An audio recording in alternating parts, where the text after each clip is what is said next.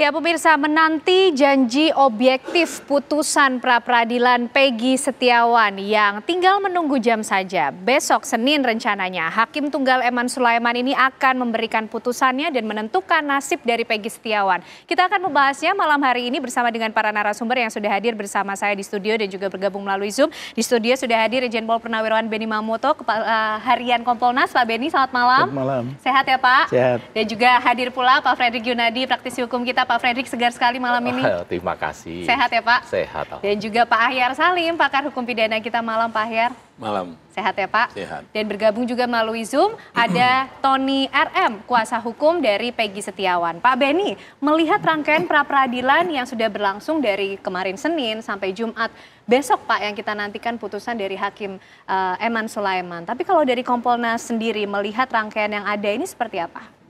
Yang pertama kita semua uh, sudah mengikuti ya melalui media karena siaran langsung juga masing-masing pihak penggugat sudah menyampaikan bukti-buktinya kemudian sudah ditanggapi dari pihak tergugat.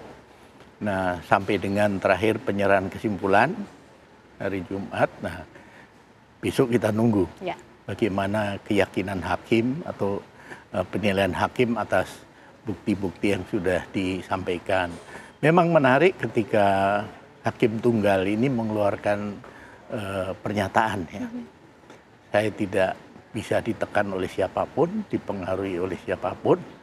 Saya uh, demi Indonesia. Ya. Ini menarik sekali dan kita berharap bahwa besok itu benar-benar terwujud kebenaran dan tegaknya keadilan. Karena publik semua berharap dalam hal kasus-kasus yang sudah uh, viral terbentuk satu opini bagi seorang hakim sangat berat. Oke. Karena opini kan bisa terbentuk berdasarkan fakta yang benar atau berdasarkan analisis yang faktanya nggak jelas. Tapi opini sudah ter, eh, terbentuk. Sekarang era post truth, sehingga memang berat kami lihat eh, apa tugas hakim ini. Tapi marilah kita tunggu hasilnya besok.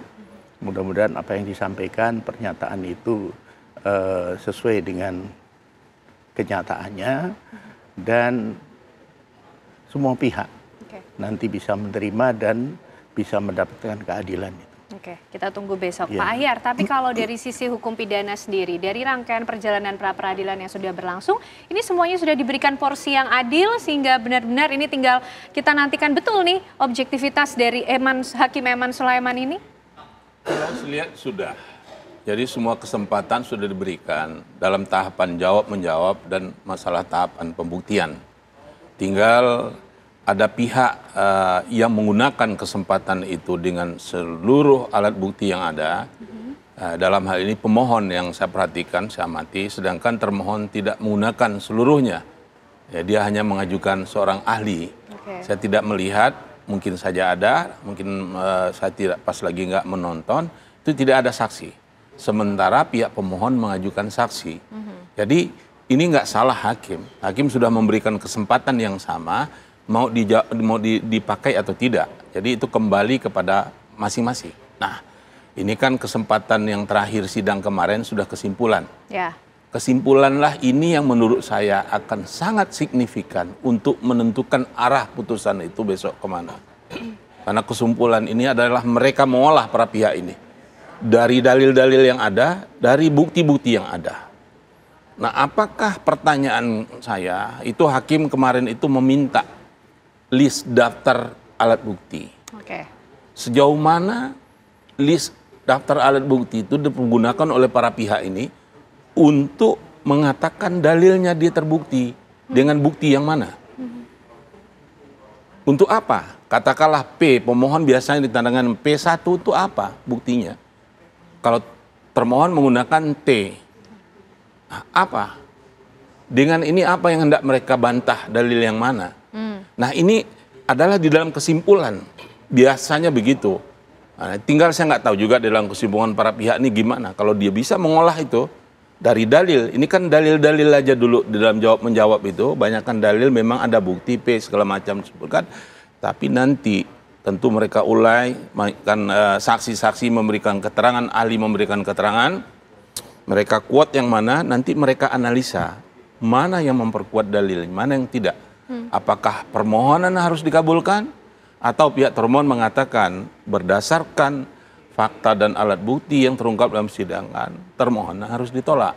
Pasti dua sisi itu udah pastilah akan selalu ada dalam para pihak ya. itu yang okay. berperkara. Oke, okay, baik. Pak Frederick, kalau sebagai praktisi hukum sendiri melihat ini masing-masing pihak sudah memaksimalkan kesempatan yang diberikan belum sih dari hakim?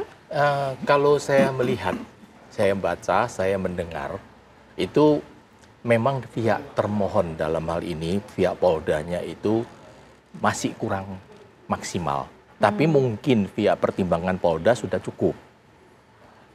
Dari analisa yang saya lihat, apa yang diajukan oleh pemohon itu sangat minim sekali dan boleh dikatakan tidak memenuhi unsur. Hmm. Ya, contohnya, saksi yang diajukan itu adalah saksi yang mengaku di depan sidang bahwa dia ingat suatu peristiwa yang terjadi 8 tahun yang lalu. Di mana manusia itu hanya tiga memori. Short memory, long memory, nama hipertemesia Hmm. Hipertemesia itu adalah orang super cerdas, super beingatnya. Okay. Tiada seorang pun di dunia ini yang bisa mengingat 8 tahun, 10 tahun yang lalu dia sedang ngapain. Hmm. Yang suatu hal yang kecil loh, masakan saya sedang minum kopi pada tanggal 17 Agustus tahun 2016. Tidak mungkin orang ingat. Okay. Karena kecuali hipertemesia, orang itu akan ingat segalanya dengan jelas. Hmm. Sehingga keterangan yang disajikan oleh uh, para saksi yang diajukan se seyugiganya saya tidak tahu ya apakah Polda sudah melakukan pemeriksaan dengan mendatangkan psikolog untuk diperiksa apakah mungkin dia itu memberikan kesaksian yang benar atau saksi yang telah disusun. Okay. Nah, kedua juga ada suatu hal yang tidak impossible menurut saya pengalaman saya kan menunjukkan bukti pembayaran slip gaji 8 tahun yang lalu.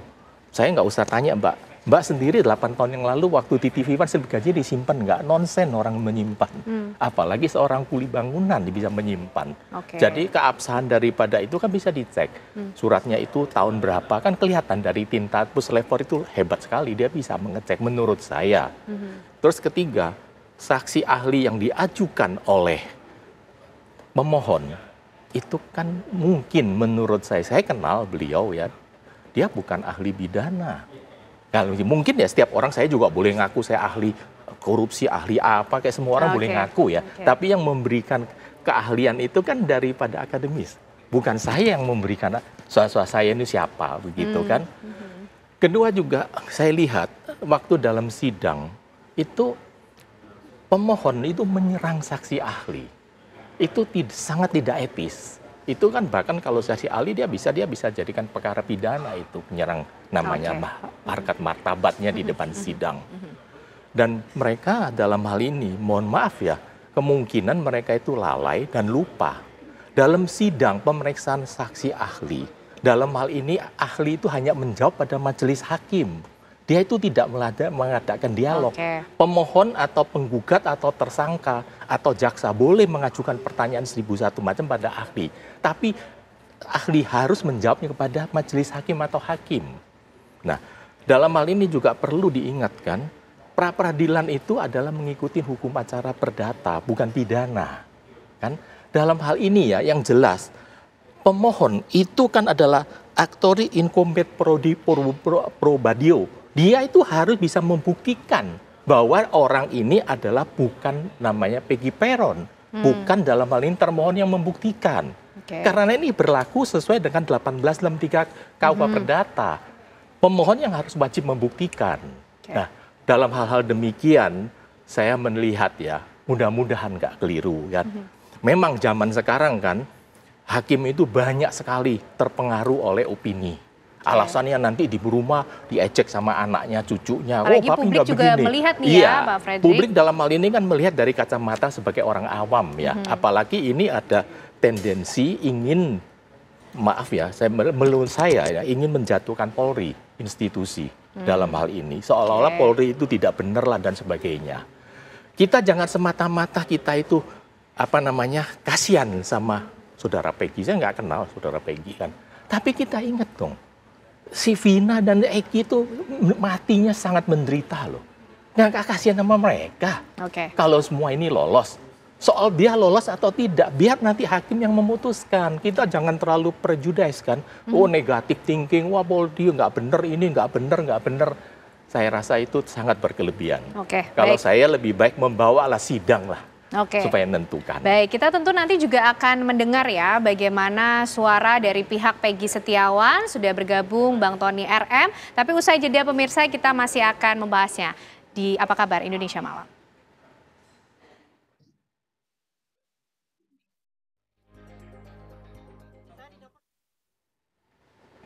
Ada masih bersama kami di Apa Kabar Indonesia Malam pemirsa. Kita akan lanjutkan perbincangan kita malam hari ini menanti janji objektivitas putusan pra peradilan Peggy Setiawan. Sudah bergabung bersama kita juga malam hari ini ada Bang Tony RM, kuasa hukum dari Peggy Setiawan. Selamat malam Bang Tony, bagaimana nih kesiapannya untuk besok menantikan bersama putusan dari eh, Hakim Eman Sulaiman dari rangkaian pra peradilan yang sudah dijalankan? Ya, kami dari tim penasihat hukum Peggy Setiawan sudah sangat siap dengan kemungkinan-kemungkinan putusan pra peradilan besok. Jadi seandainya putusan itu dikabulkan, memang itulah harapan kami dan kami optimis dikabulkan. Sehingga penetapan tersangka Peggy Setiawan dinyatakan tidak sah atau batal demi hukum. Sebaliknya, jika memang e, nanti hakim berpendapat lain atau e, menolak permohonan kami, maka kami akan siap berjuang untuk selanjutnya yaitu be- membela Peggy Setiawan di pokok perkara di mana nanti akan disidangkan di Pengadilan Negeri Cirebon. Namun dari jalannya persidangan kami sudah menyimpulkan beberapa hal. Yang paling penting adalah dua hal. Sebenarnya yang paling pokok adalah eh, permohonan eh, grup pra peradilan ini untuk menentukan sah tidaknya penetapan tersangka. Dalam jawaban penyidik Polda Jawa Barat selaku termohon ya bahwa ia menetapkan tersangka Peggy Setiawan dan dasarnya adalah DPO.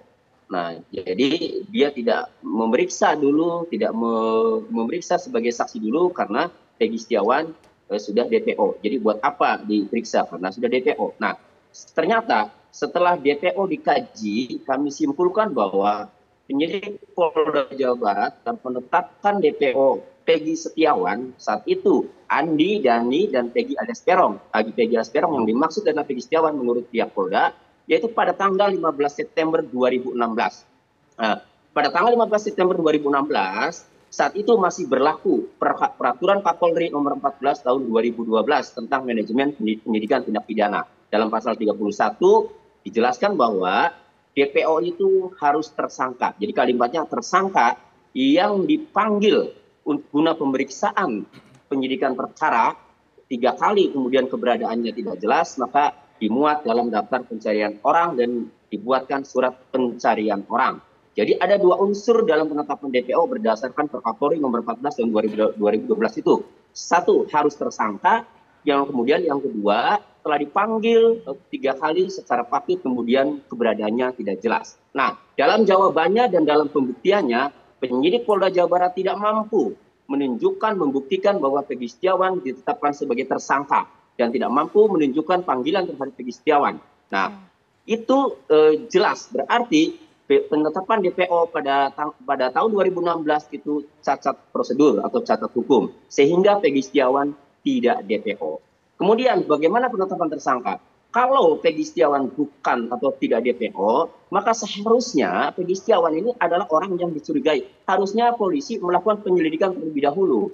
Faktanya 19 eh, Mei 2024 penyidik mengeluarkan surat perintah penyelidikan lanjutan. Kemudian hari itu juga 19 Mei penyidik mengirimkan SPDP surat pemberitahuan dimulainya penyidikan kepada jaksa. Kemudian 21 Mei gelar perkara penetapan tersangka. Nah, 21 Mei ditetapkan tersangka, 21 Mei 2024 pukul 18 Peggy Setiawan ditangkap, kemudian diperiksalah sebagai tersangka. Tidak mampu membuktikan Peggy Setiawan diperiksa sebagai saksi, tidak ada. Sementara dalam putusan Mahkamah Konstitusi nomor 21 tahun 2014 dalam pertimbangannya di halaman 98 selain dua memiliki dua alat bukti untuk menetapkan tersangka tersebut seseorang harus diperiksa dulu calon tersangkanya. Begitu bunyinya. Nah ini tujuannya biar berimbang untuk menghormati hak asasi manusia. Nah tidak diperiksa sebagai saksi sebelum ditetapkan tersangka ini syarat mutlak. Ini terjadi dulu Pak Budi Gunawan.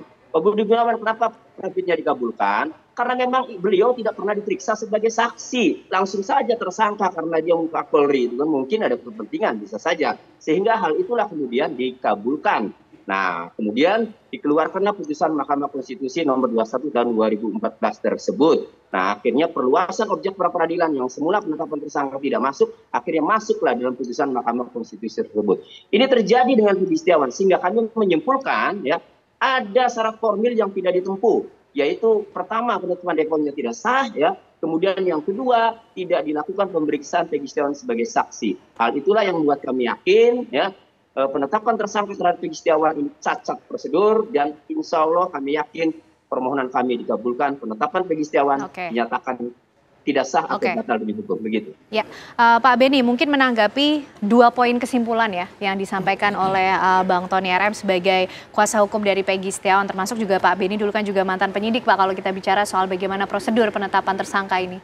Ya, uh, pertama begini ingin kami sampaikan bahwa kasus ini pertama kan uh, apa yang sudah difonis sudah inkrah ini satu urusan yang diproses begitu lama. Kemudian ada yang baru yaitu masalah Peggy dan dua orang lainnya. Nah dalam konteks ini kami melihat dan kami sudah mencoba untuk menganalisis proses penanganan dari awal ini memang banyak kelemahan okay. dari pendekatan secara saintifik. Sebagian tidak dilakukan sehingga uh, ada ruang untuk para tersangka ini kemudian mencabut keterangannya dan sebagainya. Padahal ketika CCTV ada, kemudian uh, secara jelas motornya siapa saja, plat nomornya, berapa orang, kemudian sperma bisa diperiksa, kemudian hasil otopsi apa. Kalau itu semua dilakukan secara uh, maksimal, nggak akan terjadi seperti ini. Nah berikutnya berbicara masalah kasus yang sekarang untuk Peggy ini, ini kan ada proses muncul film, ya. viral, ribut, baru ini dibuka. Ya. Nah di sini ada rentang waktu yang cukup panjang sehingga uh, di tengah publik menanti mempertanyakan mana mana mana ini menjawab film itu, nah, di situlah penyidik kemudian mencoba kerja keras untuk secara maksimal melakukan hal-hal ini. Tetapi sekali lagi, karena ada kelemahan-kelemahan di awal, contoh TPO biasanya kalau tidak ada fotonya, ada sketsa wajah. Ya. Sketsa wajah bisa dibuat karena saksi-saksi mm-hmm. itu bisa ditanya satu persatu. Mm. Orangnya tingginya sekitar ya. berapa, dikonfirmasi temennya. Sudah dua tiga orang, oke okay, jelas sketsa, ciri-ciri fisik, alamat, kemudian ditindaklanjuti dengan proses pencarian. Ke sini-sini dibuat berita acara pencarian dan sebagainya. Kalau ini lengkap, ada semua. Penyidik sekarang tinggal melanjutkan. Nah ini tidak. Saya tidak membayangkan kalau saya jadi penyidik dapat warisan kondisi seperti ini. Pusing. Ya. Nah oleh sebab itu kami juga sudah menyampaikan ke jajaran Polri, tolong kasus-kasus lama yang belum terungkap, cold case, mm-hmm. itu dibuka kembali sekarang, dicek kembali kelengkapannya dan mm. sebagainya. Soal pembunuhan ASN di Semarang, soal mahasiswa UI yang tenggelam di um, danau, kemudian pembunuhan mahasiswa uh, di Bogor, tolong ini dibuka kembali. Jangan menunggu nanti publik hmm. meributkan masalah ini dan nanti tergagap-gagap. Kami cek berapa kali turun ke lapangan, kasus ini gimana, begitu digelar kami pertanyakan, barang bukti ini di mana? Nah mulai, hmm. ini di mana? Nah mulai, karena estafetnya tidak dilakukan sesuai dengan ketentuan. Ketika ganti direktur, ketika ganti penyidik, hmm. ini harusnya pelimpahannya itu jelas Nah, kunci berikutnya adalah pengawasan atasan. Ini menjadi penting. Oleh sebab itu, apa yang dilakukan oleh tim penyidik yang sekarang, kami lihat ya memang kemudian setengah mati. Setengah matinya tadi, tekanan publik mempertanyakan mana, sementara kondisi berkasnya seperti ini. Ya. Nah, kita tunggu besok lah. Oke. Okay. Bagaimana nanti penilaian hakim atas bukti-bukti yang sudah diajukan oleh termohon. Kalau pemohon tadi sudah disampaikan. Ya, oke, okay, baik. Kita tunggu besok, tapi juga mungkin sambil menunggu kita coba cek bagaimana persiapannya juga di Pengadilan Negeri uh, Jawa Barat, pemirsa di Bandung. Bersama rekan kami ada Iman Fajar. Selamat malam, Iman Fajar. Bagaimana pantauan Anda kesiapan di sana untuk sidang besok? Ya, selamat malam Ken Ana dan juga pemirsa. Saat ini di Pengadilan Negeri Bandung, Jawa Barat memang tidak ada persiapan khusus untuk uh, melaksanakan dari sidang putusan pra peradilan Peggy Setiawan yang akan berlangsung esok hari Senin 8 Juli 2024 pada pukul 9 pagi. Namun tadi kami sempat berbincang juga dari pihak Pengadilan Negeri Bandung memang uh, besok ini nantinya akan ada sedikit penambahan aparat yang memang dari sidang-sidang sebelumnya juga sudah ada aparat yang berjaga baik dari Pamdal maupun dari pihak kepolisian setempat. Dan nantinya juga kami mendapat informasi bahwa memang akan ada pengamanan yang ditempatkan di dalam ruang sidang karena mengingat juga sidang putusan dari pra peradilan besok ini juga menarik antusiasme dari masyarakat banyak sehingga pihak keamanan di sini juga berjaga-jaga untuk mengantisipasi keramaian yang akan berlangsung pada esok hari.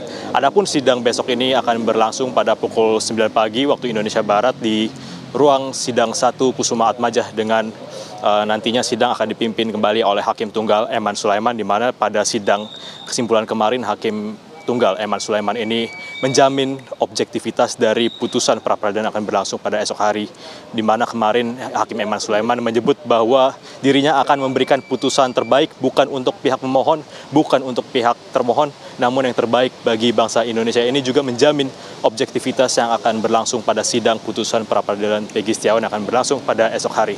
Sementara itu pemirsa dari pihak Peggy Setiawan sendiri juga optimis akan memenangkan sidang pra peradilan besok karena memang uh, salah satu poin utama yang kemudian dicatat dari pihak Peggy Setiawan adalah tidak adanya bukti yang kuat yang menunjukkan bahwa Peggy Perong adalah Peggy Setiawan. Ini juga menjadi uh, salah satu uh, poin yang kemudian menguatkan argumen dari pihak Peggy Setiawan. Sementara di satu sisi dari pihak Polda Jabar juga optimis akan uh, kemudian uh, memenangkan sidang pra peradilan pada esok hari karena memang uh, pihak Polda Jabar meyakini bahwa penetapan tersangka dari Peggy Setiawan sudah sesuai aturan di mana penetapan tersangka ini juga telah uh, mengantongi minimal dua alat bukti sesuai dengan pasal 184 KUHAP yang itu kemudian menjadi uh, dasar dari pihak Polda Jabar untuk menahan Peggy Setiawan. Tentunya kita akan uh, menantikan bagaimana jalannya sidang putusan pra peradilan Peggy Setiawan yang akan berlangsung pada esok hari. Sementara laporan kami uh, seperti itu, Kenana dan juga pemirsa dari Pengadilan Negeri Bandung, Jawa Barat, kita kembalikan ke studio. Baik, terima kasih Iman Fajar informasinya langsung dari Bandung, Jawa Barat. Tentu mata semua tertuju esok hari pada putusan dari Hakim Eman Sulaiman. Kita ingin tahu bagaimana juga pandangan Pak Fredrik dan juga Pak Ahyar. Tapi usai jeda pemirsa kami kembali untuk Anda. Ya pemirsa sebelum kita lanjutkan perbincangan dengan para narasumber yang sudah hadir bersama saya malam hari ini, kami juga memiliki informasi untuk Anda pemirsa di mana saksi ahli hukum pidana ini menjelaskan uh, jejaring sosial sebagai alat bukti dalam menetapkan tersangka dalam persidangan Peggy di Pengadilan Negeri Bandung, Jawa Barat pada 4 Juli 2024 lalu. Saudara mengatakan bahwa Facebook itu tidak masuk dalam bukti surat, tapi dia masuk dalam bukti petunjuk. Kalau yang kemudian Facebook masuk adalah masuk dalam bukti petunjuk, maka saudara ahli, saya mau merujuk kepada pasal 188 ayat 2 untuk mempermudah ahli menjawabnya, maka saya akan sedikit membacakan. 188 ayat 2. Petunjuk sebagaimana dimaksud dalam dalam ayat 1 hanya boleh diperoleh dari keterangan saksi, surat, keterangan terdakwa. Jadi hanya tiga dasar keterangan saksi, keterangan terdakwa dan keterangan surat. Hanya ini dasar yang bisa menunjukkan bahwa itu adalah petunjuk. Kemudian ahli tadi menyatakan bahwa Facebook itu adalah masuk dalam kategori petunjuk. Bagaimana jawaban saudara ahli atas uh, pertanyaan saya ini? Baik, mohon izin yang mulia. Tadi saya menjelaskan bahwa akun Facebook itu dapat dijadikan sebagai petunjuk. Bukan sebagai alat bukti yang dikualifikasi sebagai alat bukti petunjuk 184 ayat 1 KUHAP. Itu berbeda. Maknanya sangat berbeda. Saya tadi sampaikan bahwa petunjuk itu alat bukti alat bukti petunjuk di dalam 1841 KUHAP huruf uh, D, huruf D itu akan diperoleh pada pemeriksaan di pengadilan dalam perkara pokoknya. Tidak dijadi tidak dalam apa namanya dalam tahapan penyidikan. Jadi okay. penyidik itu tidak punya eh, tidak bisa mengumpulkan petunjuk ya. Kan Karena yang ini terjadi betul, di persidangan. Betul, terjadi di persidangan dalam perkara pokoknya yang persidangan tidak bisa itu. Tidak bisa. Tidak bisa. Itu saya tadi menyampaikan seperti itu. Tidak bisa ya. Jadi dapat dijadikan sebagai petunjuk, bukan alat bukti petunjuk. Ketika sudah di persidangan. Ketika sudah di persidangan, baru makanya tadi kan yang yang berkaitan dengan substansi putusan pengadilan yang sudah berkekuatan hukum tetap, ya, yang kemudian ada apa ada uh, di dalam pertimbangannya yang menyebut adresat DPO dan seterusnya itu itu sebagai petunjuk bagi penyidik untuk kemudian ditindaklanjuti untuk mencari dan menemukan alat bukti. Nah, alat buktinya apa? Ya alat buktinya 184 ayat 1 huruf A, huruf B, huruf C. Dua dari situ diambil dijadikan sebagai dasar untuk menetapkan tersangkanya. Oke, melihat apa yang kemudian terjadi di persidangan pra peradilan Peggy Setiawan, Pak Frederick tadi juga kita sudah melihat bagaimana dua poin kesimpulan yang disampaikan dari pihak Peggy Setiawan. Bagaimana Pak Frederick melihatnya?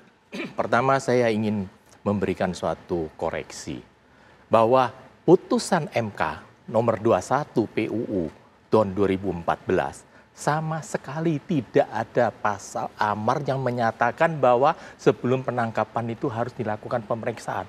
Tidak ada jadi amar putusannya itu sangat simpel. Jadi janganlah dalam hal ini membelokkan pengetahuan publik itu menjadi suatu dugaan yang katanya menurut putusan MK tersangka itu wajib diperiksa sebelum ditangkap. Tidak ada itu sama sekali. Ya. Kalau dalam hal ini kita melihat pada KUHAP juga tidak ada. Putusan 21 itu hanya mengatakan bahwa dua alat bukti yang sah. Sebelumnya kan dua alat bukti. Dua alat bukti yang sah sebagaimana yang disampaikan kepada ahli yang tadi diputarkan itu udah sangat tepat bahwa dalam hal ini sebagai bukan alat bukti petunjuk tetapi adalah petunjuk. Hmm. Petunjuk dan alat bukti itu sangat berbeda. Jadi jangan dicampur adukan menjadi satu. Ya. Yang jelas dalam hal ini saya tidak membaca apa kesimpulan yang disampaikan karena kan saya nggak nggak bisa lihat di di internet pun juga nggak bisa saya baca gitu. Yang saya jelas masing-masing pihak sudah berupaya semaksimal mungkin. Dan kalau saya sebagai praktisi hukum, saya sudah hampir 50 tahun menjadi advokat, saya yakin dalam hal ini permohonan ini akan ditolak.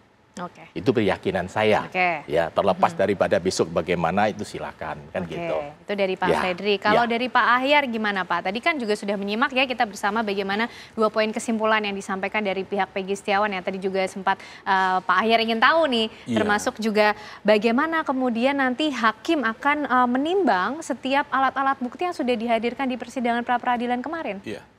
Saya melihat dari sudut pandang yang agak berbeda dengan Pak Frederick. Mm -hmm meningen, kata orang Belanda.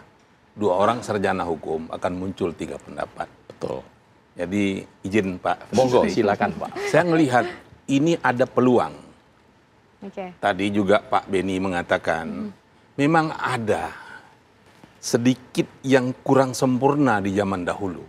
Ini nggak bisa dilihat yang tahun 2024 saja, karena di rentetan dari dahulu. Di situ peluang yang saya melihat ada uh, apa buat uh, pemohon ini untuk akan dikabulkan permohonannya besok. Apalagi kalau kita agak masuk lebih lanjut ya. Ada lima hal sebenarnya yang bisa dipersoalkan, diputuskan dalam pra peradilan. Tujuh sebenarnya objeknya, tapi saya ngelihat yang untuk membatalkan suatu apa namanya yang dikabulkan permohonan ini, terutama yang masalah ya uh, penangkapan, penahanan, penetapan tersangka, penyitaan, penggeledahan. Ini sudah sesuai nggak dengan prosedurnya?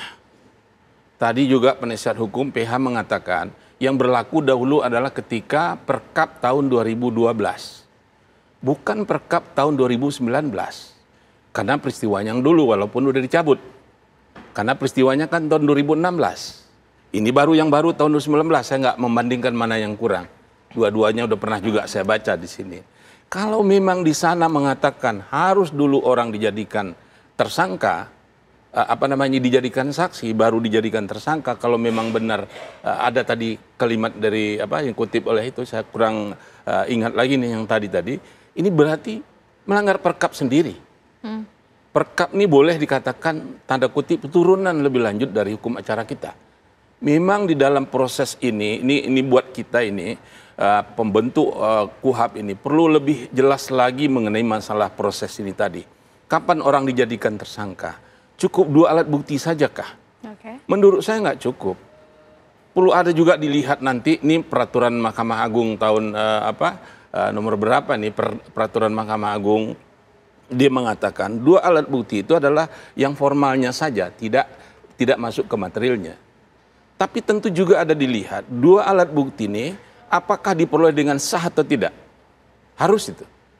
Yang kedua, apakah dua alat bukti ini ada relevannya nggak dengan tindak pidana yang disangkakan uh, dilakukan oleh uh, apa namanya uh, ter, ter, ter, tersangka? Mm-hmm. Ada nggak relevansinya? Kalau nggak ada, menurut saya ini boleh kewenangan dari hakim mahkamah apa pra peradilan untuk menilai ini ada korelasi tidak. Contoh begini, Gimana kalau dalam kasus pembunuhan terlepas dari kasus ini, ada suatu kasus pembunuhan. Digeledah rumahnya, diambil sertifikat tanah. Ya. Kemudian dapat lagi ada uh, eh, BPKB mobil. Juga ada orang yang jadi saksi katakan, kamu kenal nggak desa? Oh iya saya kenal. Orangnya tuh jahat, misalnya. Ada dua alat bukti kan. Apa kaitannya dengan pembunuhan? Jadi harus dinilai juga. Nah, okay. apakah alat bukti-alat bukti yang dikatakan oleh pihak penyidik sekarang ini yang ada, ada nggak korelasinya di situ? Saya bertanya-tanya dengan ada pengembalian kasus dari uh, apa jaksa uh, penyidik, penyidik penyelidik apa peneliti kepada kepolisian. Dikatakan di situ mudah-mudahan saya nggak salah nih Pak Frederick, dia bilang tidak lengkap baik secara formil maupun material. Oh. Kalau formil ini tuh berkait tentang tata cara. Berita acara, berita acara selama ini ada nggak? Dilakukan nggak itu? Yang tadi yang Pak Beni katakan ada yang mungkin kok kayaknya kok keliwat gitu ya. Itu ada di situ. Kemudian ada nggak prosesnya ini segala macam tata cara yang dilihat segi formalitas.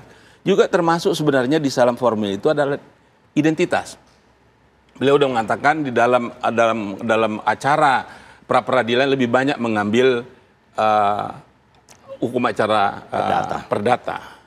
Tetapi ini memang gabungan. Kalau di perdata mengatakan istilah penggugat tergugat. Kalau ini pemohon termohon. Jadi gabung antara pidana dengan terpidana. Kan pemohonan banding, permohonan kasasi kan begitu ya. Itu yang dilihat. Tetapi ada yang namanya yang pertama status orang Persona, uh, status persona standi in judicio. Hmm. Identitas. Ini di dalam kalau uh, uh, pasal berapa? 143 berapa Pak Pak Andri? Itu apa mengenai masalah uh, surat dakwaan hmm. harus memenuhi dua syarat formil dan material. Hmm. Di dalam formil itu harus juga dilihat jenis kelamin, tempat tinggal, segala macam identitas hmm. di situ. Nah di sini, nah itu yang saya katakan tadi, kalau sekiranya nih PH-nya bisa menggunakan alat bukti putusan Mahkamah Agung yang udah inkrah dari PN yang dulu itu, kan katanya ada perbedaan. Nama berbeda, ciri-ciri berbeda, alamat berbeda. Ini yang diperiksa dalam pra peradilan ini adalah formalitas. Ya. Ini kan berbeda memang. Nama berbeda, alamat berbeda kalau nggak salah kan? Tentu kan secara formal inilah yang menurut saya kalau sekiranya nanti dikabulkan, saya melihat kans itu ada Oke. di atas angin lebih dari lima 50 persen. Orang kan banyak 50-50 nih. Nah, Kalau Pak Benny nggak mungkin 50. mau beliau.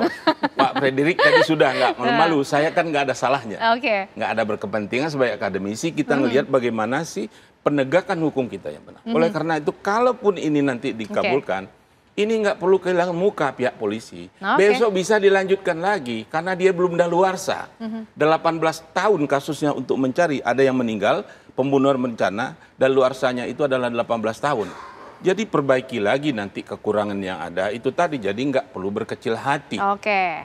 Itu Baik. menurut saya. Jadi Oke. ada ada beberapa hal lagi yang saya lihat sebenarnya nih kan ada peluang di situ, tapi Oke. biarlah berbagi dengan yang lain nanti. Menarik nih, Bisa- sudah bisa mulai membaca. Oh, nanti Pak Fredrik, Oke. masih ada lagi waktunya kita tapi ditahan dulu termasuk Siap. nanti eh, Bang Tommy kita pengen tahu juga nih bagaimana kemudian melihat peluang-peluang yang tadi sudah disampaikan oleh Pak Ahyar tapi ditahan dulu sesaat lagi pemirsa apa kabar Indonesia Malam masih akan kembali untuk Anda. Oke, menarik ketika sudah mulai membaca peluang bagaimana putusan dari Hakim Eman Sulaiman besok pemirsa. Sekarang giliran eh, Bang Tony RM nih, gimana nih melihat peluang-peluang besok yang akan terjadi dari putusan Ema- Hakim Eman Sulaiman? Baik, pertama saya memperjelas dulu biar Pak Pedrik paham. Yang saya jelaskan itu pemeriksaan sebagai calon tersangka ya sebelum ditetapkan tersangka itu itu bukan di amar putusan. Kalau di amar putusan itu memang ya hanya mengabulkan atau me- memperluas objek pra peradilan yang objek pra peradilan yang semula penetapan tersangka itu tidak masuk akhirnya jadi masuk objek pra peradilan itu. Namun ada dalam pertimbangannya. Jadi dalam pertimbangannya itu selain memiliki dua alat bukti yang termuat dalam pasal 184 KUHP juga disertai pemeriksaan calon tersangkanya. Itu bunyi pertimbangan di halaman 98. Pak Fedrik nanti buka ya. Oke, eh, saya sepakat dengan Pak Prof. Ahyar. Ya. Memang Mbak, eh, tadi ada beberapa hal itu yang eh, prosedur ditempuh atau tidak. Penyitaan, penyitaan itu jelas ya, baik dari jawaban yang diuraikan maupun dari bukti surat tidak pernah ada dalam penyitaan Suzuki Semes tahun 2016 yang tiga hari setelah kejadian ya. Ini peluangnya eh, setelah tiga hari setelah kejadian di, disita itu tidak ada izin ketua pengadilan, jelas itu. Nah kemudian eh, penetapan tersangka juga jelas ya. Jadi gini, kami sudah semua mengamati hakim tunggal Pak Eman itu sebenarnya sudah kompeten, sudah tahu ilmunya untuk memutus perkara ini. Makanya pertanyaan yang paling penting terhadap dua ahli, baik ahli pemohon maupun ahli yang dihadirkan oleh termohon, pertanyaannya itu ada dua poin yang paling penting. Pertama, prosedur penetapan DPO dijawab oleh ahli dari pihak pemohon Pak Suhandi Cahaya itu harus harus dipanggil dulu sebelum ditetapkan DPO kan itu. Nah, berapa kali pemanggilannya? Dua kali kata pemohon, kata ahli dari pemohon ya Pak Suhandi. Nah, kalau di- di- dipanggil tidak datang, baru kemudian ditetapkan DPO setelah memang keberadaannya itu tidak diketahui. Ahli dari eh, termohon Pak Prof Agus juga sama menjawab pertanyaan hakim itu ya eh, harus ada pemanggilan kalau tidak tertangkap tangan. Nah, ini persoalannya kalau tidak tertangkap tangan, ini tidak tertangkap tangan, tidak tertangkap tangan berdasarkan LP Parudiana. Nah, dijawablah sama. Berapa kali panggilannya? Dua kali. Jadi sepakat. Kemudian faktanya tidak ada surat pemanggilan sehingga DPO yang ditetapkan oleh Polda Jawa Barat pada tanggal 15 September 2016 itu bertentangan dengan Perkapolri nomor 14 tahun 2012 pasal 31 di mana DPO itu harus tersangka dan harus dipanggil dulu. Nah, ini faktanya penyidik tidak mampu membuktikan di, depan- di, di persidangan. Nah, kemudian penetapan tersangka juga yang yang paling penting yang terakhir nih ya. Itu sama Oke. ya ketika putusan Mahkamah Konstitusi ya nomor 21 tahun 2014 dalam pertimbangannya harus diperiksa calon tersangkanya ahli juga mengatakan demikian ya. Oke. Nah, faktanya tidak mampu membuktikan surat panggilan maupun surat pemeriksaan maupun BAP pemeriksaan Peggy Setiawan sebagai saksi atau calon tersangka dalam bahasa pertimbangan Bang Tony. putusan Mahkamah Konstitusi itu.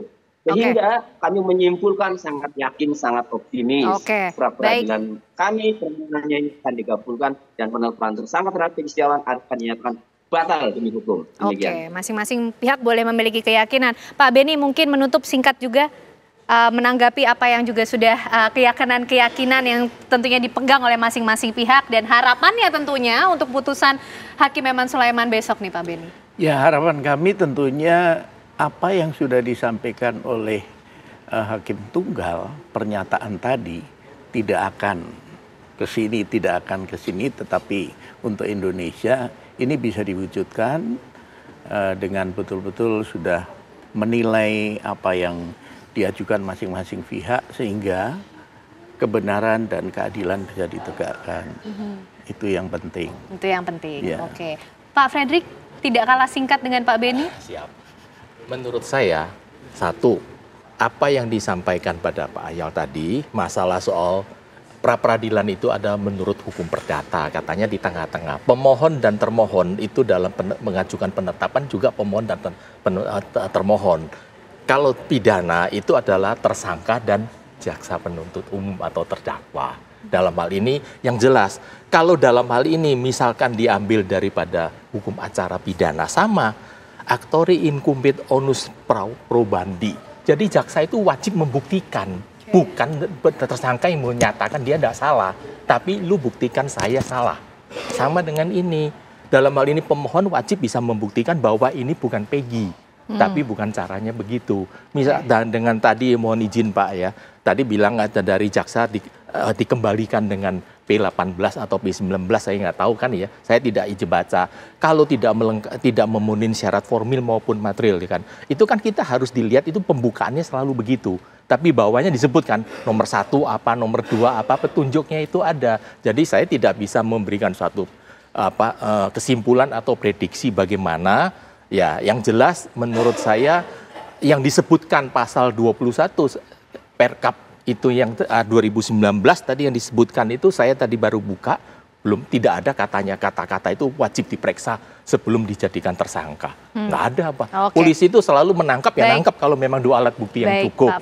Ya, bagaimana putusannya sebagaimana Pak Beni yang mengatakan ya biarlah hakim ini memutus dengan hati nurani bukan karena terpengaruh oleh opini Oke, atau baik. ingin dapat muka dalam pada masyarakat. Oke, memutus kan dengan begitu. hati nurani iya. bukan opini Pak Hayar. Kalaupun besok dikabulkan uh, apa permohon uh, permohonan pemohon, tentu jangan pihak uh, kepolisian berhenti. Siap, cari siapa orang pelakunya. Oh. Kalau cari terus karena ini meninggalnya tidak wajar, pasti ada diakibatkan oleh sesuatu. Ini masih ada waktu 10 tahun lagi untuk melakukan itu.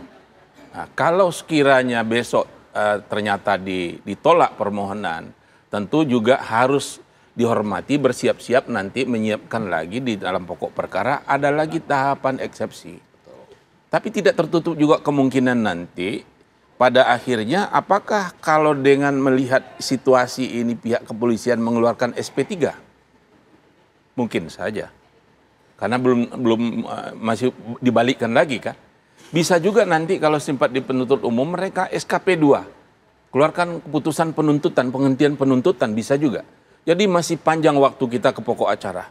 Masuk ke pokok acara diserahkan nanti oleh pihak ke, ke, kejaksaan ke pengadilan ada pula eksepsi nanti yang bisa diajukan oleh pihak pemohon barulah masuk ke peta pro. Jadi masih butuh waktu yang panjang tapi biar bagaimana fiat justisia ruat kulum keadilan.